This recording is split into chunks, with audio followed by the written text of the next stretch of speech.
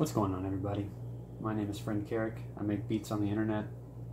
And as of December of last year, I am a SP555 user. And so I wanted to make a video um, just going over quickly five things that the 5 can do that the 404 can't. Um, I used this machine for many years. It's still in my setup, as you can see.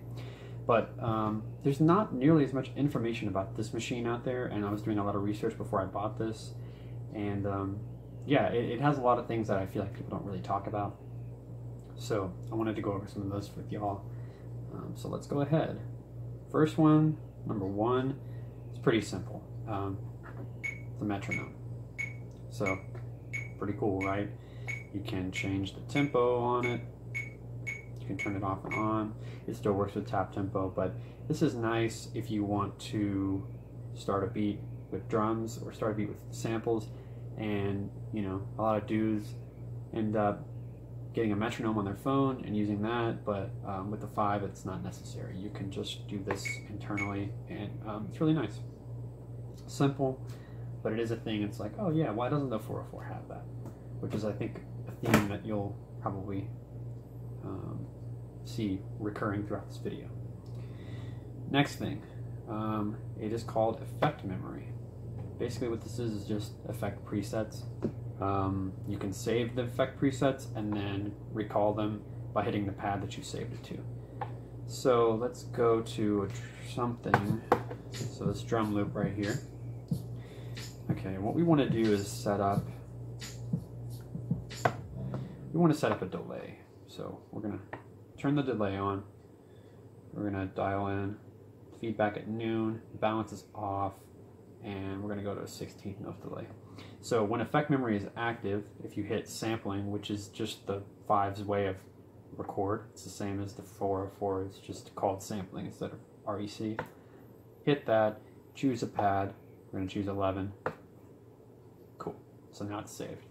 So if we go back to our drums and we go back to effect memory, we hit this. Let me just make sure that this is off so you guys get the full effect. So now it's on. Just remember that I have the balance all the way down, so if we turn it up. See, but then when you hit 11, again, it's automatic and it's automatically going to go back to the settings that you saved. So it's pretty nice. If you like to use delay during your sets, you know, cool. Any effects, basically.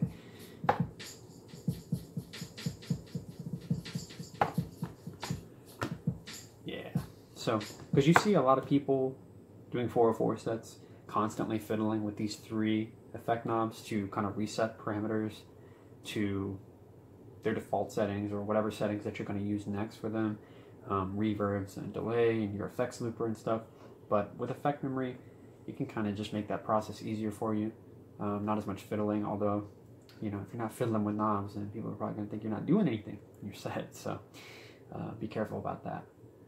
Um, all right, so that's number two. Number three is probably the single most appealing feature of this machine to most folks.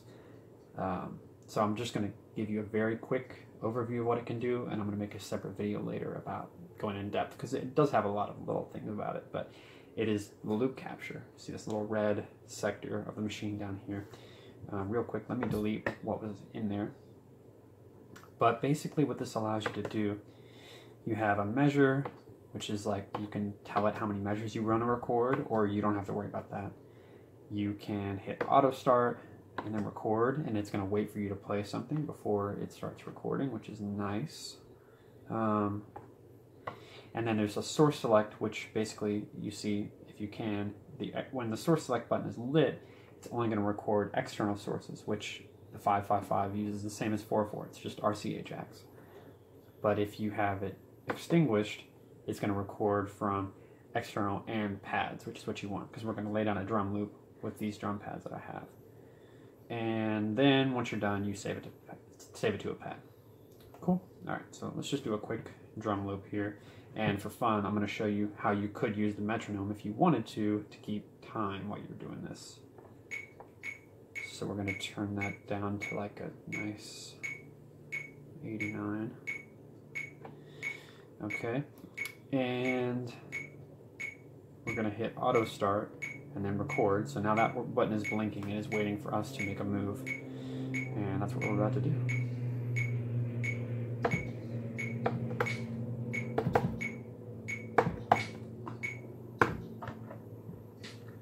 All right. So yeah, you see, simple loop. And now this is actually counting those for you, which is nice, beats. But we're not done. We want to add a few more things to that. So if you hit record, you see this button changes color. Now we are in overdub mode. So we can just add some stuff if we want. I'm gonna add, I'm gonna add a shaker.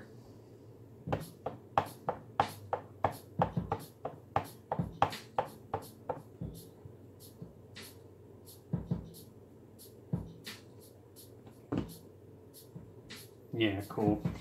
All right, so then once you have your drum loop, you save it to a pad. You hit save to pad, select a pad, hit it one more time, and your drum loop is done. So like I said, I'll go more in depth in this feature in future video, but I just turned off gate there. That's all I did. You see it's still looped up. There's your drum loop. So this is a massive time saver. You can do this with uh, sample chops as well, because anything that you can play from the pads you can do.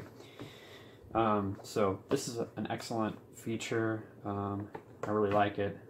That's a quick way to delete what's in a loop by the way. Effect assign, hold down, and hit record. Again, I'm going to go more into this in the future.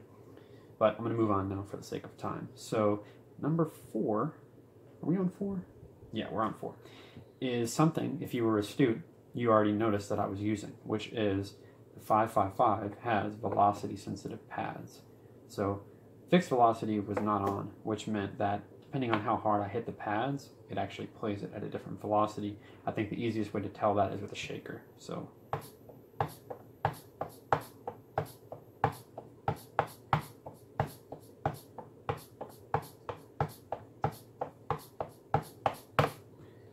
Yeah, so this is a feature that a lot of people wish that the 404 had. It's a way to spice up your drum loops, make them sound more human. Um, I'm at the point now where, with my own stuff and with a lot of others, I can kind of tell when the drums were made in the SP because there's certain workarounds, but um, for the most part, you know, you hear SP drums and they all kind of have, you know, all the snares, all the kicks are all hidden at the same um, velocity. What most people do is they'll take their hi-hat and they'll record it twice, one on each pad, and then on the second one you'll like turn it down or maybe trim the start point so that it kind of has a swing to it. But people don't really do that with their kicks and snares that I see. I know people do, but I'm just saying like the majority of people.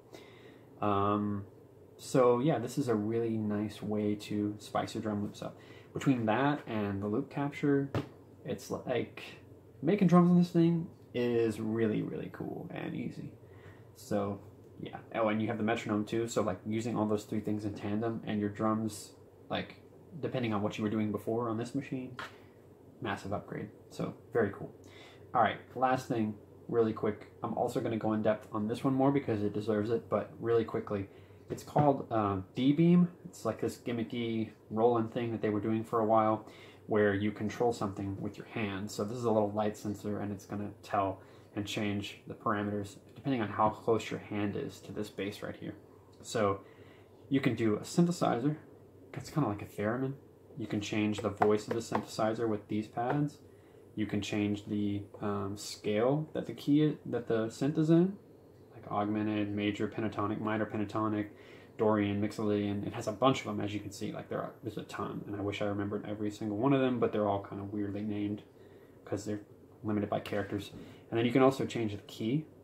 So basically, you can play in any key in any scale, and you can never go out of key, right? So let me turn that down just a little bit and go to a not really ugly sound. Oh yeah, give me the sine wave. So yeah, this is a really, really cool feature. It's kind of corny, but so is like this whole thing. So it's like really nice.